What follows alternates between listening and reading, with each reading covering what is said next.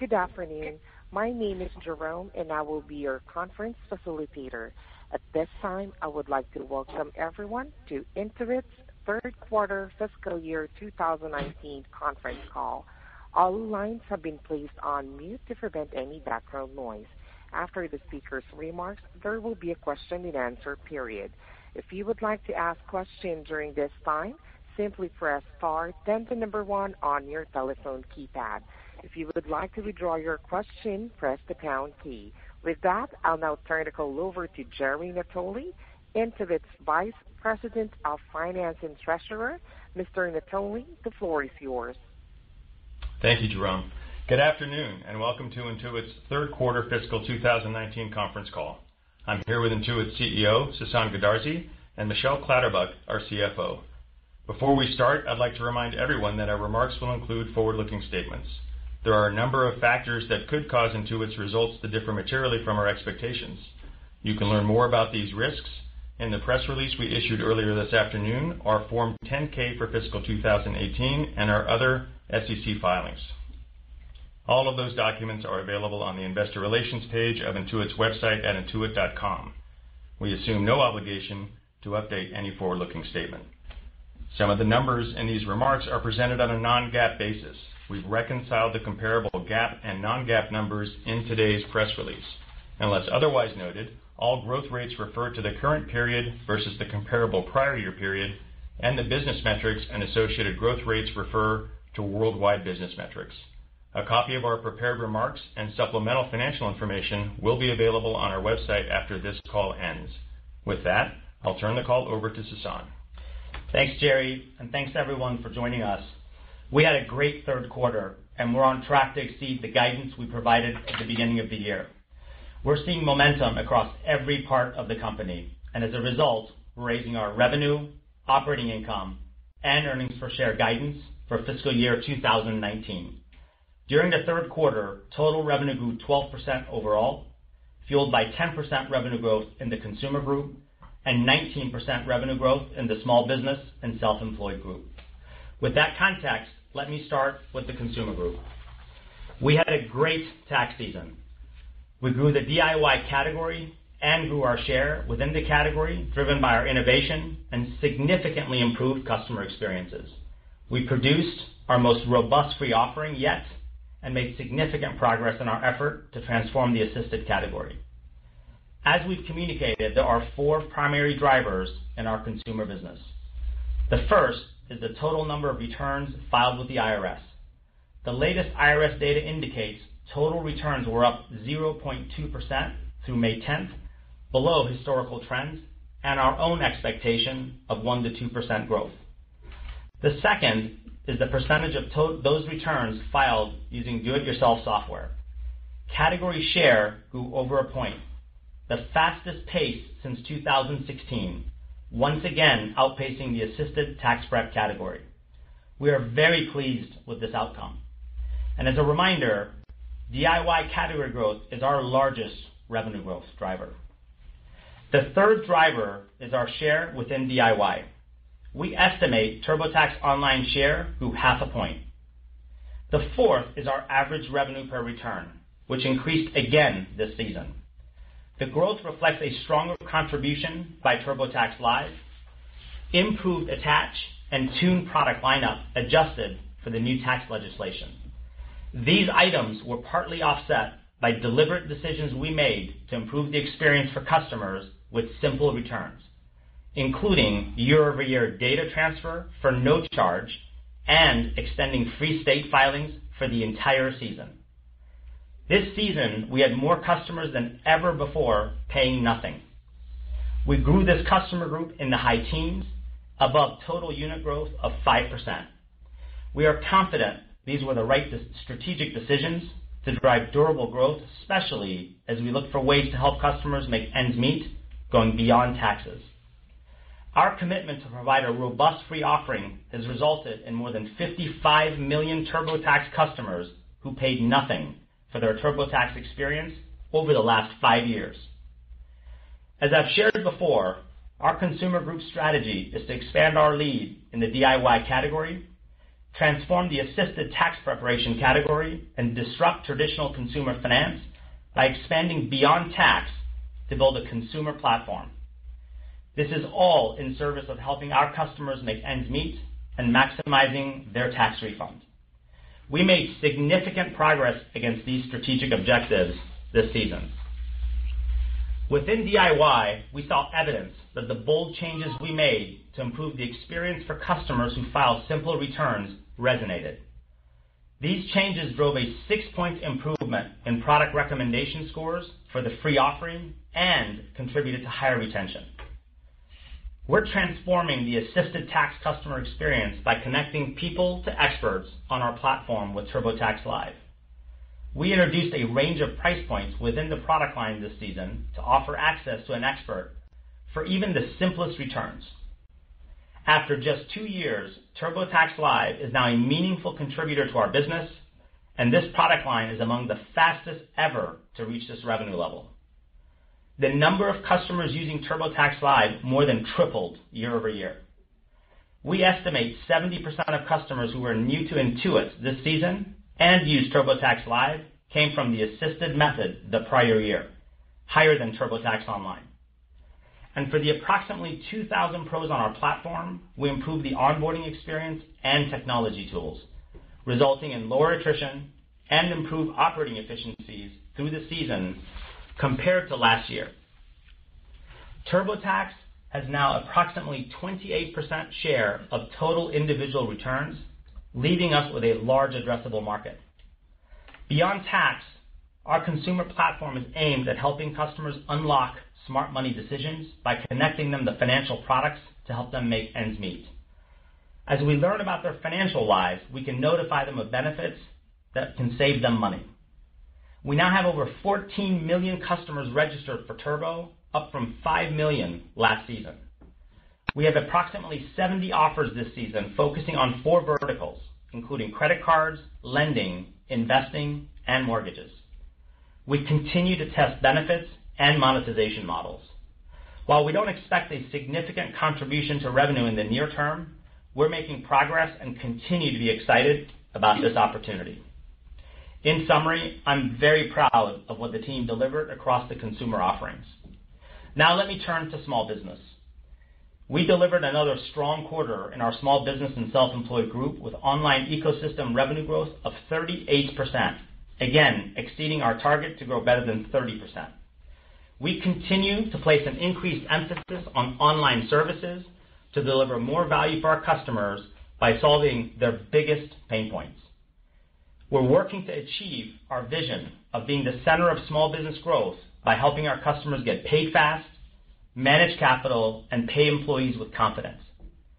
Earlier this year, we launched next business day payments, allowing our customers to receive their funds much faster than previously experienced. QuickBooks Capital has funded 360 million in cumulative loans since launching about a year and a half ago. Finally, we remain encouraged by our early progress with QuickBooks Advanced Online, designed to disrupt the mid-market by addressing the needs of mid-market small business customers with 10 to 100 employees. Within our strategic partner group, our professional tax revenue is on track to grow 4% for fiscal year 2019. That's the high end of our initial range for this segment. To wrap this section up, we are very pleased with our results. Now let me shift to a different topic. You may have heard assertions that Intuit engaged in practices designed to discourage consumers from filing their taxes for free. These assertions have come in several forms, and I want to address them directly. We stand behind our marketing actions as both being appropriate and consistent with our core value, integrity without compromise. In addition, any suggestion that Intuit does not support the IRS File program is wrong. In fact, we're proud that for nearly uh, two decades, millions of Americans have used TurboTax Free File program to file their taxes without paying. Our commitment to free dates back to 1998, when we launched a program to offer free tax preparation software and e-filing services to lower income and active duty military taxpayers. In 2002, the entire tax software industry and the IRS formed the IRS Free File program modeled after our initiative. As a founding member, we're committed to IRS Free File's shared goals of public service and providing free tax filing to those who need it most, as we have for nearly 20 years. As I mentioned earlier, we have more than 55 million TurboTax customers who paid nothing for their TurboTax experience over the last five years. Thank you. And now let me hand it over to Michelle to walk you through the financial details. Thanks, Sasan. Good afternoon, everyone. For the third quarter of fiscal 2019, we delivered revenue of $3.3 billion, up 12% year-over-year. GAAP operating income of $1.8 billion versus $1.6 billion a year ago, an 11% increase.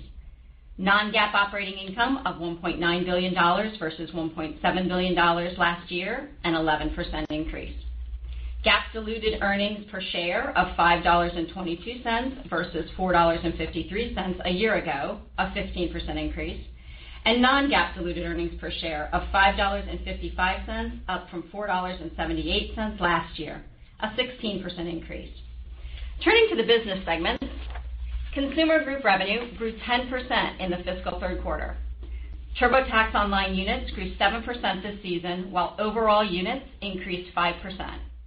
We significantly improved the experience within TurboTax Live this season, not only for the customers who use this platform, but also for the tax pros providing tax advice. The improvements we put in place increased pro NPS by more than 50% versus a year ago and created operational efficiencies. These include a 30% reduction in pro attrition and improvements in the pro portal that drove a 30% increase in time spent serving customers this season versus last year. We're excited to continue scaling this business in the future. We also offered TurboTax Self-Employed customers the opportunity to benefit from tracking their financials throughout the year in QuickBooks Self-Employed. TurboTax Self-Employed product recommendation scores tied TurboTax Live for the highest score among our paid offerings. Turning to the Strategic Partner Group, we reported $235 million of professional tax revenue for the third quarter, up 4% year-to-date. In small business, total small business and self-employed revenue grew 19% during the quarter. Online ecosystem revenue remains strong with growth of 38%. We believe the best measure of the health and success of our strategy going forward is online ecosystem revenue growth, which we continue to expect to grow better than 30%. Online services year-over-year growth slowed this quarter compared to the prior four quarters. This was primarily a function of lapping the TSheets acquisition a year ago. QuickBooks Online subscribers grew 32%, ending the quarter with over 4.2 million subscribers. Growth remains strong across multiple geographies, with U.S. subscribers growing 25% to over 3.1 million, and international subscribers growing 55% to over 1.1 million. Within QuickBooks Online, self-employed subscribers grew to approximately 970,000, up from roughly 680,000 one year ago. TurboTax was a significant channel for QuickBooks Self-Employed, and 440,000 subscribers have come through this channel, up from 330,000 last year. We continue to expect total subscriber growth to moderate as we place a greater focus on additional services and penetrating a broader range of customers. Desktop ecosystem revenue was up 4% in the third quarter. Our desktop units were up 12%, reflecting unusually strong renewals during the quarter. During fiscal 2019, we expect QuickBooks Desktop units and desktop ecosystem revenue to be roughly flat. Within the desktop ecosystem, our QuickBooks Enterprise customers and revenue continued to grow at a double-digit pace in the third quarter.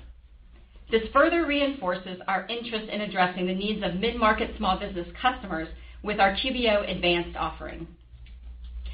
Turning to our financial principles, we remain committed to growing organic revenue double digits and growing operating income dollars faster than revenue. We take a disciplined approach to capital management, investing the cash we generate in opportunities that yield a return on investment greater than 15%. Our first priority for the cash we generate is investing in the business to drive customer and revenue growth. We consider acquisitions to accelerate our growth and fill out our product roadmap. We return excess cash that we can't invest profitably in the business to shareholders via both share repurchases and dividends. We finished the quarter with $3.3 billion in cash and investments on our balance sheet. We repurchased $135 million of stock in the third quarter. Approximately $2.8 billion remains on our authorization, and we expect to be in the market each quarter this year. The board approved a quarterly dividend of $0.47 per share, payable July 18th, 2019. This represents a 21% increase versus last year. Turning to guidance, our fourth quarter fiscal 2019 guidance includes revenue growth of 10%-12%, GAAP loss per share of 35 cents to 33 cents, and non-GAAP loss per share of $0.16-$0.14. We are also raising our fiscal 2019 guidance following strong performance the first three quarters of the year. Our new guidance includes revenue growth of 12%, up from prior guidance of 8%-10% growth. GAAP diluted earnings per share of $5.72-$5.74, and non-GAAP diluted earnings per share of $6.67-$6.69. We now expect a GAAP tax rate of 18.5% for the fiscal 2019. You can find our Q4 and updated fiscal 2019 guidance details in our press release and on our fact sheet. And with that, I'll turn it back over to Sasan. Great. Thanks, Michelle. With that overview of the quarter, I'd like to remind you of the strategic objectives I covered last quarter, starting with what matters most to our customers. All of our customers have a common set of needs. They're all trying to make ends meet, maximize their tax refund, save money, and pay off debt. And those who've made the bold decision to become entrepreneurs and go into business for themselves have an additional set of needs.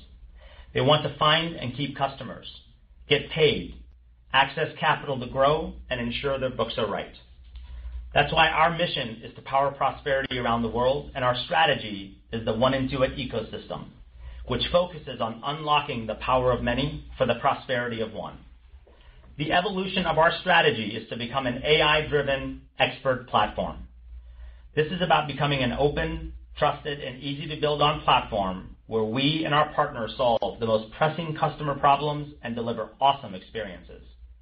It's about significantly accelerating our application of artificial intelligence, which progressively learns from the large data sets across the platform and accelerates speed to benefit to revolutionize the experience for our customers. And it's about solving the largest problem customers face, lack of confidence, by connecting them with experts on our platform, leading the digitization of the services industry. Let me provide a few examples. When it comes to connecting people to experts, we're doing this today with TurboTax Live. Imagine the opportunity we have to expand live expertise across the platform to serve consumers, self-employed, and small businesses in the areas of tax, bookkeeping, and financial advice. For small business owners, we're focused on being the center of small business growth, using AI across our platform to accelerate faster funding and payments, and to help our customers um, access capital. Over time, we see an opportunity to better serve product-based businesses as they find and sell to customers across channels, transforming omni-channel commerce. We're also focused on helping customers make smart decisions with their money by connecting them to financial products that help put more money in their pockets. This is our vision for Turbo, where we are increasing active use and engagement, leveraging the tax refund moment to connect customers on our platform to meaningful benefits. Last but not least, we're focused on disrupting the mid-market with QBO Advanced. Our AI-driven expert platform will help provide what mid-market customers need at a disruptive price. We are making great progress, and we'll have more to share with you in the coming quarters and at our Investor Day. I want to thank our employees, our customers, and our partners for another strong quarter. Now let's open it up for questions. Thank you. Ladies and gentlemen, if you would like to ask questions, please press star then the number one on your telephone keypad. If you would like to withdraw your question, press the pound key. Your first question comes from the line of Keith Weiss from Morgan Stanley. Keith, you are now live. Excellent. Um, thank you guys for taking the question, and uh nice quarter. Um, I want to um, uh, touch on the sort of the the tax business this this quarter. Two kind of related questions. Um, one, you talked about some of the actions that you guys took during the quarter, um, uh, the sort of um, free state for the entire uh, for the entire uh, period, as well as free data transfer that pushed more people into the free category. Can you talk to like what was the rationale behind it? What was like the business reason for making those moves, number one? And number two, we have heard kind of the press reports. We've also seen um, some political sort of rhetoric um, starting to rise. We saw a letter um, uh, uh, some senators sent to you today. Is there any reaction needed from that type of kind of political pressures? Is there any uh, behavioral changes or anything you plan on doing differently in the TurboTax business in response to senators' pressure or sort of the pressure you're getting from some state and local governments as well? Great. Hi, Keith. Um, thank you for your question. Uh, let me start with what matters most to our customers. And as you've heard us talk about, there are two things that matter most to our customers. One is helping them make ends meet, and the other is helping them get the largest uh, tax refund. You know, in that context, there are three areas that we're focused on. One is uh, expanding our lead in the do-it-yourself category. It's about transforming the assisted category, and it's actually disrupting consumer finance and going uh, beyond tax.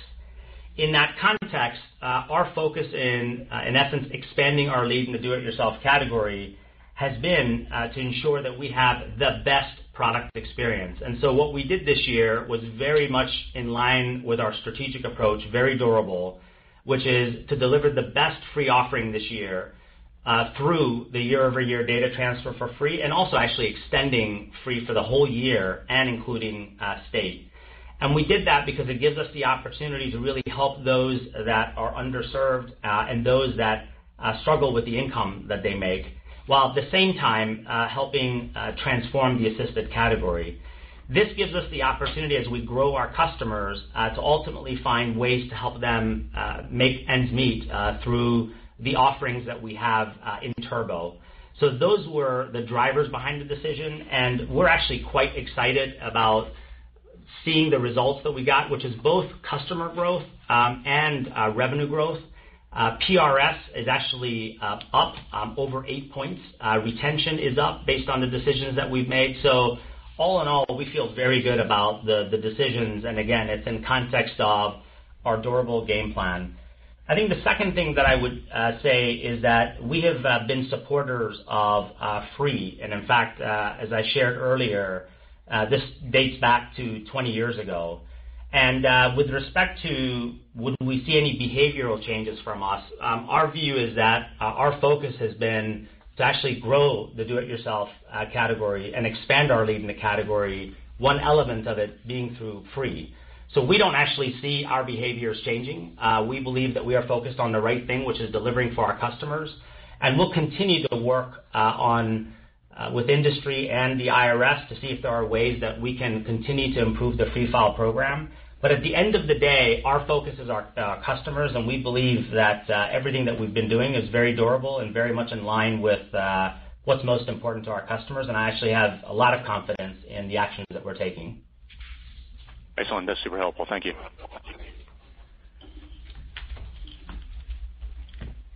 Your next question comes from the line of Brad Zelnick from Credit Suisse.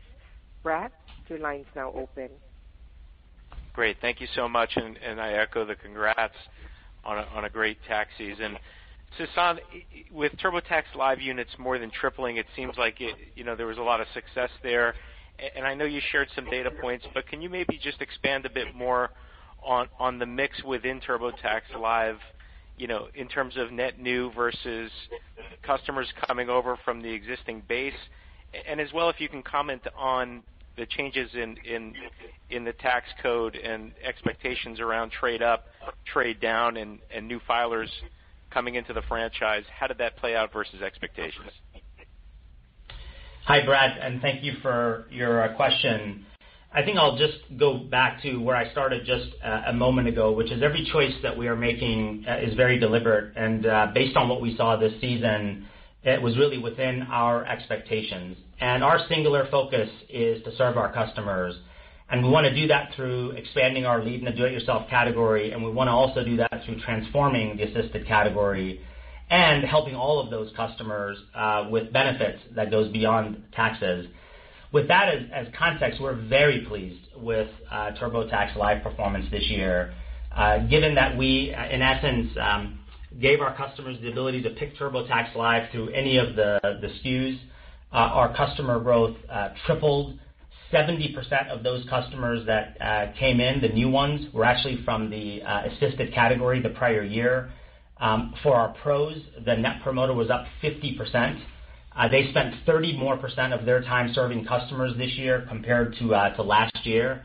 So we're very pleased with our progress uh, this year, and we know exactly the areas to improve to actually accelerate our growth in this area next year.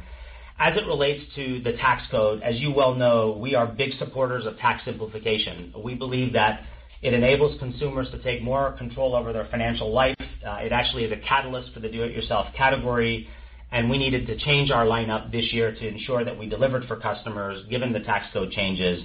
And in essence, what we saw was all really within our expectations, and we're very pleased with uh, the performance for our customers, our uh, PRS scores, and the team did a wonderful job.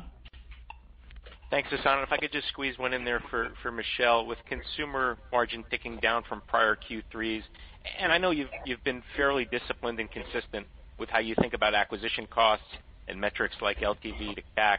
But can you just remind us, especially with TurboTax Live coming into the mix, how you're thinking about acquisition costs and how we should think about the cost of delivering TTL this season, uh, and how we should really think about consumer margins going forward? Thank you. Brad, I do this to Michelle all the time in our meetings. So let me start, and then I'm going to turn it over to uh, uh, Michelle. It's a great question, and I know um, others have it on their mind. I want to go back to the evolution of our strategy, which is about being an AI-driven expert platform. And this is about significantly accelerating our progress with a platform and an ecosystem.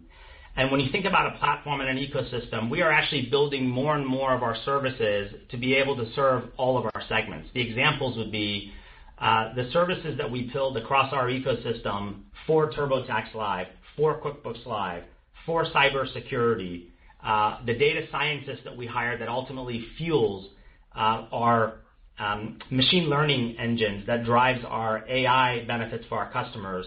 Those are all at the company level, which is why we always talk about we manage margins at the company level.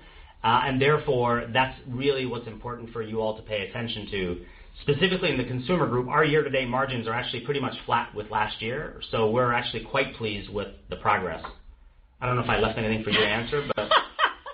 Um, the only thing I would add to that, Brad, is um, you know when we look at the consumer margin specifically, there have been you know a number of questions just around TurboTax Live and how we think about that.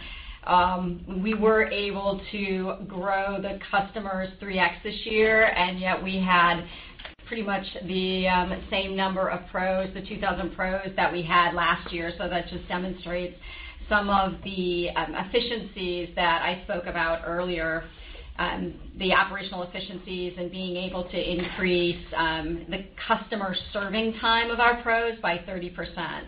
So we actually like the incremental margins that we're seeing for this offering. And um we are look you know, when we look forward, we're focused on opportunities here like automation and augmented intelligence, all of these things to look for ways to continue to make the agents as efficient as possible and also to continue to streamline the onboarding process. Thank you so much.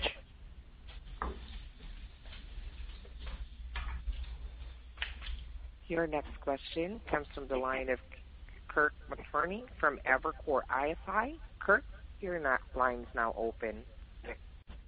Uh, thanks very much. Uh, Sasan, I wanted to just double-click a little bit on your commentary around the platform, the expert platform powered by AI. And clearly, we've seen some of the benefits of that with TurboTax Live. there's been some discussion on the website about QuickBooks Live and you guys testing that out. And I was just kind of wondering how we should think about the evolution on sort of the small business side around that narrative. I know you're not going to give us too many uh, data points now, have to wait, but what should we be expecting from you, perhaps at the Analyst Day?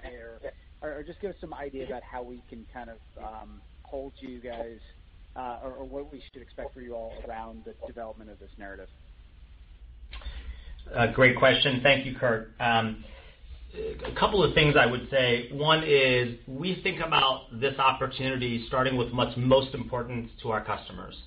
And the biggest challenge that our customers face, consumers, self-employed, and small businesses, is confidence.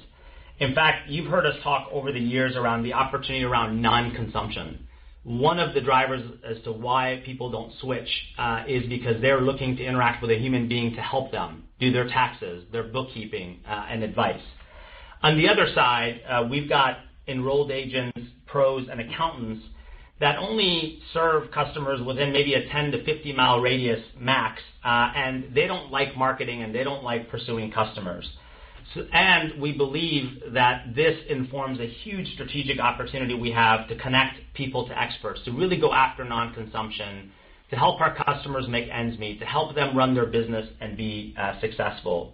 I wanted to start there because not only are we in the very early innings of uh, TurboTax Live and what the opportunity that we have to transform the assisted category, that same opportunity exists when it comes to helping small businesses get started and run their business. And we've been, one, leveraging um, the same common services that we built over the years for TurboTax Live to significantly accelerate uh, building out uh, QuickBooks Live. And we've been testing uh, QuickBooks Live over the last uh, many months, and what we've learned is very consistent with what we've learned from consumers that are trying to do their taxes. Uh, they're looking for ways to get started and get set up. Some are actually looking for advice of, "I have payroll due on Friday. Am I going to be able to make my payroll? What advice do you have for me?" Some actually want the bookkeeper to actually take all their information, all their documents, and set QuickBooks up for them, and then give them advice. So we're learning a variety of things, and we believe that the opportunity is significant uh, for our customers, and the ARPU is actually quite significant because the benefit is there. I would say on the other side, um, as we've been talking to enrolled agents, accountants, and pros, once they understand what we're trying to do, they are very excited about this opportunity because they see it as an opportunity to be able to grow their business, but do it through focusing on what matters most to them versus marketing. And so the way we want all of you to think about this is this is a big opportunity for us to connect people to experts uh, on our platform to go after consumers, self-employed, and small businesses, and fundamentally digitize the services industry and build advantage across the company. That's really helpful. If I could just sneak in one for Michelle, sort of related on that topic.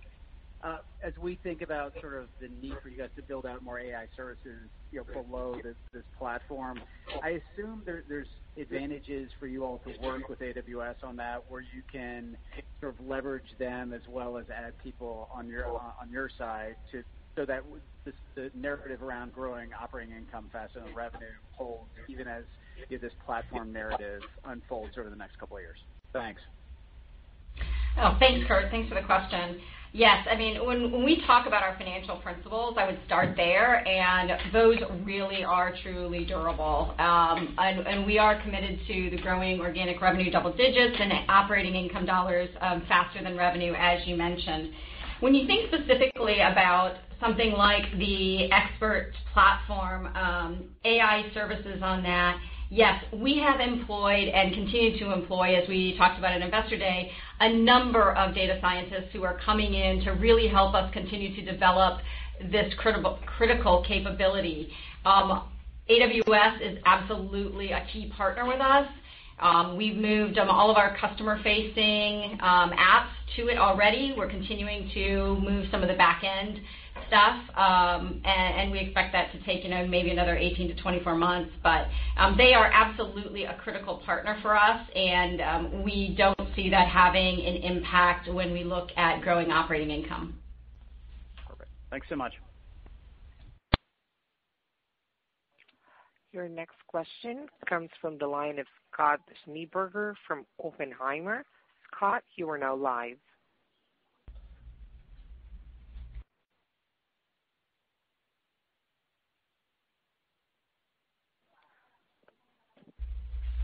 Scott Schneeberger, your line's now live. Oh, thank you. Uh, can you hear me? Uh, yes. Thanks. Good afternoon, everyone. Um, uh, congratulations on the quarter. The I wanted to ask in the consumer segment, your margin, um, someone asked earlier, it was a little lighter than expected in third, but Michelle, you pointed out that year to date, it was about on track with last year. So my question is, somewhat to the extent you could speak to this year, you marketed TurboTax Live in the early season, but you hadn't in the early season last year. You also had the 4 tiers of pricing in TurboTax Live this year. So is there is there anything unique or interesting about that that had an impact? And if you could elaborate a little bit on what you saw introducing the 4 tiers year-over-year versus last year. Thanks. Okay. Um, Do you want me to start? Scott, I'll start, Sasan. Um, thank you, Scott. Thanks for the question. Um, actually, where I'm going to start is, is if I step back and look at TurboTax Live, Sasan did mention earlier that this year we made the very deliberate decision to offer it across our lineup. Um, it really then enabled folks, from simple returns all the way up to very complex returns, to be able to have access to experts to really get the confidence they need to go through their tax filing situation. Um, so with that, we believe that that's absolutely the right thing for us to do and the right strategic decision. We did see a lower ARPC in that. Um, but we believe that long term, with the opportunity that we have with TurboTax Live, that that's the right thing to do for our customers.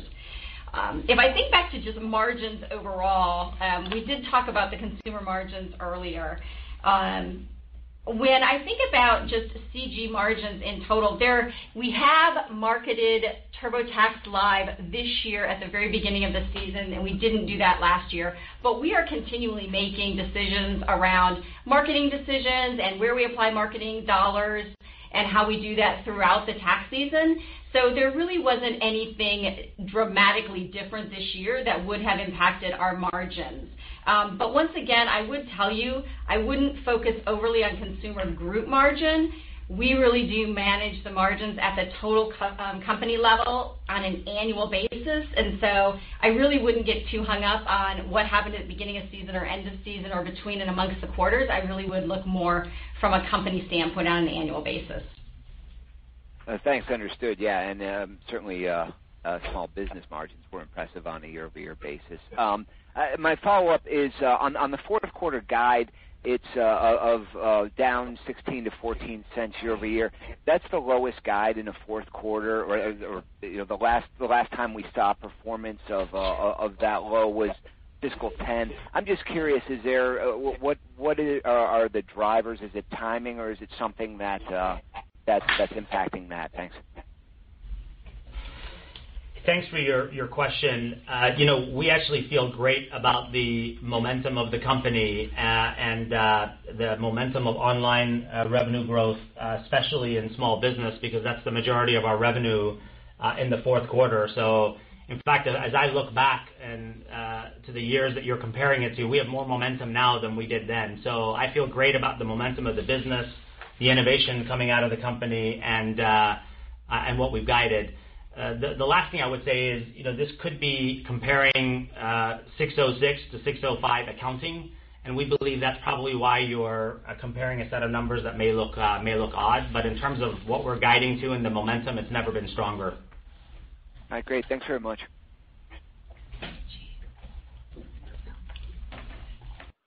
Your next question comes from the line of Jennifer Lowe from UBS. Jennifer, the line's now open. Great. Maybe just a couple quick ones from me.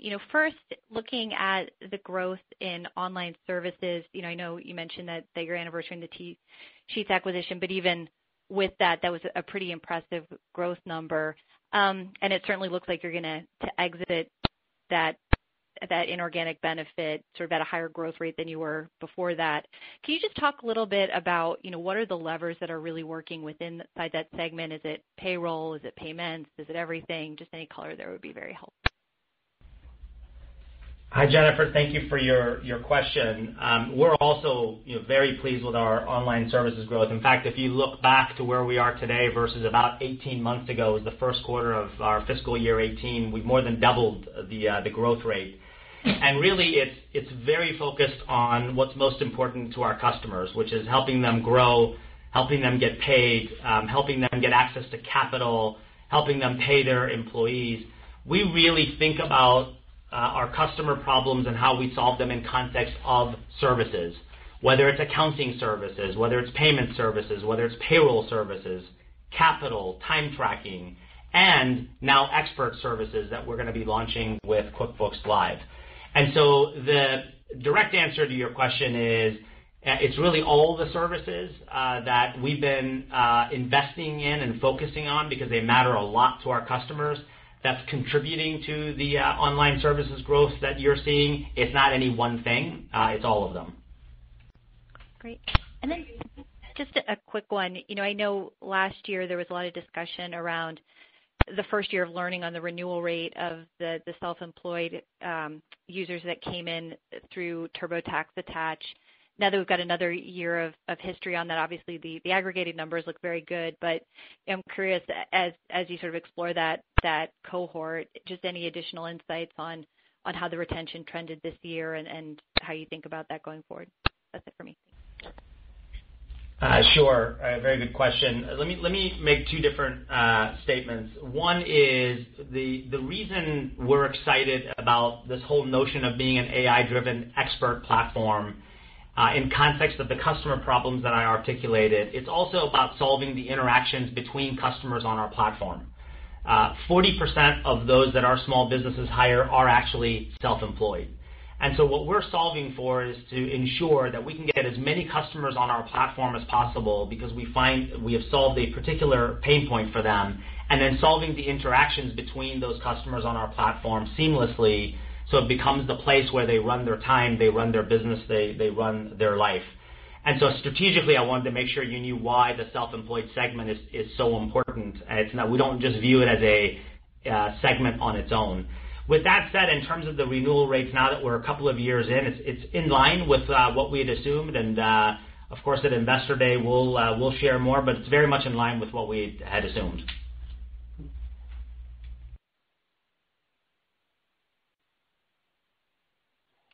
Your next question comes from the line of Josh Beck from KeyBanc. Josh, your line's now open. Great. Thanks for taking the question. Obviously, a really good success with TurboTax Live, uh, more than tripling. I'm wondering if you look underneath it, uh, the growth a little bit, could you talk about uh, the retention in those live filers from the prior season, and if they renewed um, that product SKU? Hi, Josh. Thank you for your question. You know, what I would what I would share is, one, as you said, you know, we look at this as a $20 billion TAM opportunity where there's a huge confidence problem to solve, which is why we expanded across all of our uh, SKUs. And we see it as an opportunity to get um, create income for our pros and help them uh, uh, with their life. With that said, we loved what we saw this year. As you said, 3x the growth on customers, 70% of the new customers came from the assisted method the prior year, Uh, our NPS and Net Promoter's been up and to the right. We, of course, um, at this point, are not sharing the exact uh, numbers. Uh, that may be something that we share at Investor Day, but I think the takeaway you should have is on every dimension, customer growth, retention, NPS, for both the customers that we serve and the experts that are on the platform serving our customers, very proud of the improvements our team's made. Okay. That's very helpful. I also wanted to ask about the success that you had on the free side. When you look maybe more midterm or long term, does that in some ways increase the opportunity for monetizing Turbo, or is that maybe not the you know one of the opportunities you see down the road?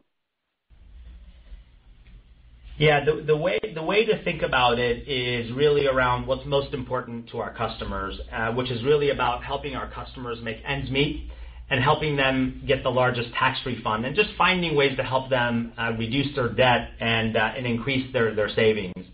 And so what what when we think about free, one, uh, it's focused on a segment of the marketplace where we believe they deserve to do their taxes for free, and therefore why we significantly improved the experience this year to ensure that we deliver against the standards we expect of ourselves and they expect of us. It then gives us the opportunity through Turbo, uh, with the customer's consent, uh, to help connect them to benefits that matter most, because we are an agnostic uh, platform. What we care most about is ensuring that um, they have an opportunity to get savings accounts at the highest rates. That if they're going to get a personal loan, it's at the best rate possible versus pushing our product. And that, for us, gets our heartbeats going faster because it's squarely focused on the customer and what matters most. The opportunity is actually significant. Just in the United States, consumers overpay in fees well over 60 billion plus. And we have an opportunity to match them with products, financial products that are right for them at the lowest rates. And so we do see that as an opportunity to deliver for our customers and eventually a business opportunity. Okay. Thank you so much. Very helpful. Your next question comes from the line of Sterling Auty from JPMorgan. Sterling, your line's now open. Great. Thanks. This is Jackson Ader for Sterling tonight. Um, thanks for taking our questions. The first one, uh, Sasan, if you can just help us uh, reconcile something. Um, the 55 million uh, users over the last five years that that you said have paid nothing, how do we um, square that with the roughly 1.1, 1.2 million Free Filing Alliance uh, users that you report on the fact sheet? Yeah, Jackson, uh, thank you for thank you for your question. Uh, as I mentioned earlier, we have, for the last 20 years, supported customers that um, have certain income level and to be able to file for free. We do that directly with customers, and we also do that through the IRS Free File program. Uh, that's something that the IRS has done a wonderful job setting up uh, with the entire uh, industry. And so the 55 million includes both the free offering directly to customers and the Free File offering. That's all in one when you look at the 55 million over the last five years. Understood. Okay. Thank you. Um, Then, a follow-up question. How how many filers in the U.S. do you believe qualify for free filing on an annual basis? You know, our uh our estimate uh, is probably about over 100 million-ish or so. Uh, and this is a figure that we've talked about for years that um, ultimately Uh, are eligible for uh, free. And our other estimate is probably 20 million-25 million of them actually use free uh, because customers have choice, and they decide if they want added benefits that goes beyond free. But those are you know the the estimates that we have. Understood. Thank you. You're welcome. Your next question comes from the line of Ken Wong from Guggenheim Securities. Ken, you are now live. Great. Thanks for taking my question, guys. Um, you know, Michelle, you guys mentioned that you had 30% increase in your TurboTax Live agent engagements, Um, but also saw kind of no essentially no increase in the number of agents to actually process those claims. Um, how should we think about the capacity going forward? Is that something that you think you can still extract some incremental efficiencies? Or looking next year, that's uh, an area where you guys will probably have to staff up a little more? Hi, Ken. Thanks for the question. Um, as we think about TurboTax Live, we continue to be very excited about the opportunity there. Um, when we look at just the $20 billion opportunity in the assisted market and really helping customers have the confidence to file their tax returns, um, we do think there's a great opportunity. As you mentioned, we did see an improvement this year with 3x the customers, and yet we had the same number of pros at 2,000. Um, and so, Obviously, we did have a couple of the operational efficiencies that we delivered this year. Going forward, we continue to look for ways to improve that experience. We want to make sure that we are helping pros get set up as easy as possible, so making that smooth as possible. Um, continuing to look at the tools they use, how do we make those more efficient? Um, really looking for ways to automate um, uh, work for the pros and use augmented intelligence in the best way possible to help them with their interactions with uh, the consumers. Got it.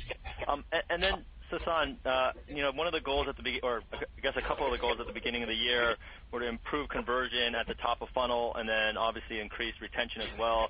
Sounds like retention um you know improved you know, to expectations.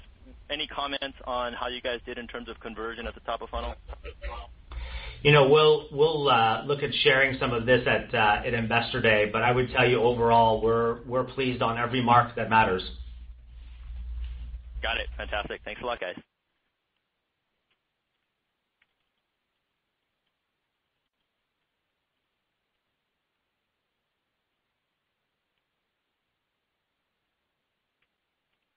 Your next question comes from the line of Brent Thill from Jefferies. Brent, your line is now open. Thanks. Just on uh, QuickBooks, um, I think, Michelle, you said the strategic direction of how you're looking at the metrics is changing, that I think many have noticed the growth rate is materially decelerating. And um but we've also noted some price increases you know from the fall to now. I think you've raised prices on Essential and Plus um, list prices. Can you just talk through you know this this dynamic of the decel, but but also looking at price rises and how you're thinking about that as a whole? Hi, Brent. Yes, thanks for the question um, on QBO subs. Um, QBO subs this quarter were at 32%, which is uh, slightly down, but we still feel that that is a very strong number. We have continued to say that we expect the QBO subs growth to moderate. And when you really look at what is driving the health of small business, it is truly online ecosystem revenue. Um, and that is continuing to be a strong a strong growth rate of 38% this quarter. Um, just to pick up on your price comment, you know, we always look at our price increases. We don't have price increases set on any specific basis. We really look to continue to deliver the value for customers, and we measure those very carefully. We never want to take a price increase that is then going to dramatically impact our customer retention. So um we look at those as we deliver more benefits to the customer, and then we continue to watch on the retention side. Thanks. Your next question comes from the line of Raimo Lenschow from Barclays. Raimo, your line's now open. Hey, thanks for squeezing me in. Um uh, Sasan, can I ask about Turbo, please? Uh, you mentioned the 14 million uh, um, users there and the 70 offerings. Can you talk and kind of what they do. Can you talk a little bit about what you're seeing there? Obviously, there's other guys that kind of have that same business model. Um is it more like is it more on the mortgage side, more on the credit card side? Like what are you seeing in terms of early trends there? Hi, Raimo. Thanks for your question. Our singular focus is to help our customers make ends meet when it comes to our vision with uh, Turbo. And with the customer's consent, uh, what we try to do is to learn uh, what's most important to them. And based on understanding their behaviors, we will connect them to financial products that are that are right for them. And remember, we're very in the very early innings of really understanding and learning what's most important to them. What's very differentiated for us is Um, the customer is engaging with us at a very important moment, which is the tax refund moment. And it's an opportunity for us to learn from them, what do you want to do with your money? Do you want to actually save more money? We will make offers such as, "Hey, you look like you have four credit cards. Would you like to consolidate it to uh, one uh, personal loan that could save you X amount of dollars? And here's, by the way, what you can afford." So it's really focused on helping them make ends meet, reduce their debt, and ultimately save more money. And our advantage is the fact that we know the customer, we understand their their behaviors, and we are an agnostic platform to connect them to those uh products that matter most. And so we're very early, uh but we love what we're seeing and what we're learning, and it's informing uh our game plan as we look ahead. Perfect. And if I might squeeze in one follow-up. The this tax season, I mean, uh remind us, uh is this was this the first one where you were fully on AWS, and what was the pros and cons you saw from that one? Um or just did you have some duplications still? Thank you. Sure. It's our second year on AWS, and we had a uh what I would call, and our teams would call, an epic finish with the number of concurrent users at the end of the season. Uh, the performance, the availability uh, was the best we have ever seen. And one element of it is our teams did an incredible job making sure the experience was an awesome experience. Uh, but Two, we credit being on AWS the fact that we could handle those kinds of volumes. But it was our second year, and it was a great outcome. Perfect. Thank you. Well done. Your next question comes from the line of Chris Merwin from Goldman Sachs. Chris, you are now live. Okay, thanks a lot. Yeah, just a couple from me, if I could. I guess the first was on the TurboTax Live marketing campaign. I was wondering if you could just comment on how that performed relative to your expectations. I know the the growth you saw year-on-year was very very strong. So just any detail you could you could share there, and I guess also how you're thinking about continuing to invest in marketing behind TurboTax Live to continue to disrupt that assisted tax prep category. Um and then I had a quick follow-up. Hi, Chris. Thanks for your question. Um, in terms of raising awareness, uh, we take a very strategic approach to our campaigns. Uh and really, the focus right now has been to raise awareness, uh, to help consumers understand that there is a different way, uh, that there could be a better way given their tax situation. And given the campaign this year, it actually worked very well. We Uh, look at mixed modeling, uh, marketing modeling and to understand um, how, what the returns were for the dollars that we spent and the effectiveness of the campaign. Uh and we really like the metrics that we have seen, and we'll be uh, doing more deep dives to understand what that will inform for next year. But the way you should be thinking about it is just this is the beginning of a multi-year and decade campaign to raise awareness, delivering awesome experiences so more customers tell one another, and then shifting the elements of the campaign from just simple awareness to effectiveness. Uh but thus far, we've enjoyed what we've seen. Okay, great. And and then the follow-up was just on revenue per return. I think it was up low double digits in the 2Q, but up Uh, more like low singles in the 3Q. And you talked about the decision, obviously, to optimize the user experience, which resulted in more free filers in Q3. I guess, were those changes live in Q2 as well? I'm just curious you know why there was, I guess, such a big delta between the growth and revenue per return uh, between 2Q and 3Q. Thanks. Sure. Sure. Um is is this is your question around uh, TurboTax Live versus TurboTax?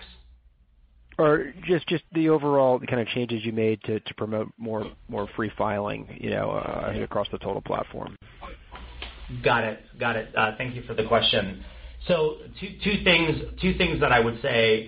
One is, based on the decisions that we've made to accelerate free, and the decisions that we made to have TurboTax Live across the lineup, in essence, our ARPC would've been several points higher if we chose not to make that decision. But we don't solve for ARPC. What we're solving for is accelerated customer growth and making sure that we grow revenue double digits and ensuring that operating income grows faster than revenue. So I would just focus on those uh, principles, but I would just end with, again, saying ARPC would've been several points higher if we had not made those decisions on free. Okay, understood. Thanks very much. Your next question comes from the line of Kartik Mehta from Northcoast Research. Kartik, your line's now open. Hey, good evening, Sasan. Um, just a couple questions on TurboTax Live. As you watched the progression of that product and tested price points, what are your thoughts on price elasticity for the product? Do you think there's an opportunity that it's providing value that uh, you can raise prices, or do you think this is a product where you might have to lower prices and you'll get a lot more quantity or users? Hi, Kartik. Thanks for your question. You know, this is a $20 uh, billion TAM, 90 million customers. Our number one focus is acing the experience for our customers to help them build confidence, acing the experience for our pros so they do a spectacular job delivering for our customers. And there is so much more room for growth here. Uh, the least of our focus is pricing. Although we think about that, it's about solving the problem well because we believe that there's so much headroom uh, for growth. We do believe there is certainly headroom for Uh, price increases, but we're just so early, and it's such a huge TAM that we just believe the opportunity is to nail the experience and get as many customers uh, to use the platform as possible so it goes viral and they tell others. Perfect. And Michelle, just uh, one more question on margins as it relates to TurboTax Live. You know, you've talked a lot about automating the process, AI. I'm wondering how close you think TurboTax Live margins can get to just traditional TurboTax, Uh, since there is human intervention, obviously, in the TurboTax Live. I'm just wondering how close you can get by using AI and automation. Um, thanks, Kartik. I appreciate um, the question on TurboTax Live. Um, One of the things that has really helped us when we think about TurboTax Live, number one, I mean, last year was the first year. This year, as we said um, a number of times, we've driven a ton of efficiencies with 3x the customers and yet the same number of pros. Um, but we really continue to look at how do we use automation and how do we use augmented intelligence to drive it. Um, another thing I would say is we have focused a lot on using technology here and really focusing on technology first, then bringing in the expert to help, which has enabled us to be in potentially a different margin range than most people may with this type of an offering. So we're very pleased with the margins we're seeing. Um and as you know, Sasan just mentioned, there's just so much opportunity here. Right now, we are really focused on how do we continue to bring customers in and continue to just deliver that great experience. All right. Hey, thanks, Michelle. Thanks, Sasan. Appreciate it. Thank you. Your next question comes from the line of Michael Turrin from Deutsche Bank. Michael, your line's now open. Hey there. Thanks, and good afternoon. Uh, just one from me. Following up on the QBO subs question earlier, appreciate you've been signaling that growth rate is expected to moderate, but looks like it's happening a bit more on the U.S. side. Is there anything you can add in terms of expectations for how that split between U.S. and international could stack up in terms of a more normalized growth profile going forward? And then on the international side, any specific geos to call out there in terms of contribution? Thanks. Hi, Michael. Thanks for the uh, question. You know, First of all, the reason we've talked about watching online ecosystem revenue growth of 30% plus is it gets to a place where how do you count a sub? Uh, because we have uh, SE subs, we have QBO subs, uh, we're now looking at T-sheet subs, we have payment subs. So there, one element of it is how do you count a sub? And so we want to make sure that we actually provide you all a very clear flagpole of what to watch for. The second is we're actually very pleased with uh, our progress in the U.S. because while we've been focused on self-employed, which has seen very good growth, we're really focused on accelerating our focus uh, into mid-market. And so when we look at the growth rate in the U.S. of 25%, given the mix of customers that we're actually focused on going after, and specifically the services that we're focused on going after, uh, we're very pleased with it. And I think ultimately the bang box to your question is I would focus on online uh, ecosystem revenue growth because that is the the best indication for the health of the franchise. All good points there. And the second part of your question, I apologize, I did not answer yet, which is the geographies. You know, we are very pleased with our progress in U.K., uh, Canada, and Australia, and uh, we are making very good progress in getting to product market fit in uh, France and in Brazil. Helpful. Thank you. Your next question comes from the line of Walter Pritchard from Citi. Walter, you are now live. Hi, thanks. Um, just uh, most questions have been answered here, but uh, two quick ones. One on, uh, I think there was a fear at the beginning of the season possibly that you'd see some trade down from customers who had simplified um, filings and going to the standardized deduction, moving to free. You did have you did have a strong performance on free. Could you help us understand in the context of what you ended up seeing in tax season, how uh how the trade down effect either impacted or didn't impact the numbers? Hi, Walter. The trade down effect did not uh, affect uh, our expectations. It was within our expectations. It was the deliberate decision that we made, uh, which was, again, in context of our durable strategy of delivering the best free offering ever, which was around including year-over-year data transfer for free and extending free for the entire season, that really impacted our ARPC. But the uh and again, that was all very deliberate, and we're pleased with what we saw. But really, trade down was not a driver relative to our expectations. It was within our expectations. Got it. Great. And then um on Advance, I'm curious how much of, I know it's early, what percentage of those customers are you seeing just sort of a direct conversion off of uh you know QuickBooks to either QuickBooks Online or QuickBooks Desktop, and how much of it is sort of out playing competitive displacement with other kind of mid-market financial accounting packages and other sources? Yeah. Thank you for the question. First of all, I'll start with it's around a 70/30, 70% uh, existing, 30% new, only because we really haven't yet aggressively pursued new, because we've actually been focused on uh, building out the platform.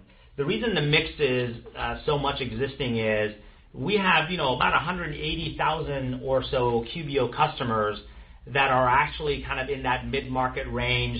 You know, they're looking to be able to do uh, batch invoicing. They're looking to be able to have roles and permissions. And we've been aggressively build out building out the platform so we can ultimately migrate those customers to a platform that they are happier with. Uh, and then we will shift more aggressively to go after new customers. Desktop is not really playing a role just yet because those desktop customers are really looking for uh, inventory capability, which we will build out as we, um, over time, begin to more aggressively focus on product-based businesses. Got it. Great. Thanks, Sasan. Thanks, Walter. Your next question comes from the line of Yao Chew from RBC. Yao, your line's now open. Hi, everyone. Thanks for taking my question and squeezing me in at the end here. Um, two quick ones. We picked up a late season TurboTax Live Pro SKU. Just any comment on that? Was there meaningful impact, and how to think about that, either in terms of attach or build-out? And the other one, I guess, is you know, lots of discussion around TurboTax Live, but we view this very much as a multi-year phenomenon. Is there a way to think about an upper bound of the attach uh, on a three-year basis, a five-year basis? And the nature of investment needed to get there, um, in broad strokes, would be helpful. Thank you. Hi, Yao. Thank you for uh, your question. Uh you know, I'll start with your first one, which is we're always experimenting. Uh, as I mentioned earlier, with a $20 billion market opportunity, 90 million customers, most of which uh, use the assisted category because of a lack of confidence. Really, our initial focus was you know helping those that may just want to use TurboTax but are looking for help um, on demand. We are also testing, uh, in essence, full service, which is we'll do it uh, for you if that's what you want us to do, and that's the test it sounds like you fell into. And we're early in uh, our insights and learnings to see what the future brings based on what's most important to our customers. In terms of TurboTax Live, we don't think about it in terms of attach. We think about it in terms of what's most important to our customers, because there are some customers that come in and right off the bat, they want to ensure that they have help along the way. Over time, it could be those that also come in and are looking for a full service offering. So we don't think about it in context of attach. We think about it in context of the segments of customers that have higher doubt, fear, and uncertainty and are looking for, in essence, expertise uh, and help. In terms of how to think about you know, how to model it, you know, Michelle, I think, did a really nice job earlier around the the way you all and we the way we would want you all to be thinking about this opportunity for us. We are putting our best and brightest engineers on solving this problem through an AI-driven expert platform. It's all about applying technology to solve this problem very very well, not only for the customer, but for the expert. So we should not think about this opportunity as a typical human capital business. We should think about this as completely digitizing services and experts having AI-driven power tools at their fingertips to be able to serve customers very very easily. And in fact, the more we learn by solving this two-sided problem, we actually make the platform better so that the customer gets the answers to their questions much, much more rapidly. So I think the way to think about this is just uh, a huge opportunity for us to drive revenue growth and think about our margins and the way to model at the company level, which is the guidance that we've provided. Thank you. That's very helpful. Well, with uh, that being uh, Ladies and gentlemen, I'm not showing any further questions. Would you like to close with any additional remarks? Yes. Uh, thank you. I apologize for interrupting you. Um, first of all, I want to thank everyone for the great discussion and the great questions. I just want to leave you with the notion of we are very excited about our strategy of an AI-driven expert platform. Uh, we have incredible confidence in our segments, incredible confidence in the progress of the company. Uh, we look forward to sharing more in the upcoming quarters uh, and at Investor Day. And we hope everybody has a wonderful rest of the day and week. Thank you. Ladies and gentlemen, thank you for participating. This concludes today's conference call. You may now disconnect.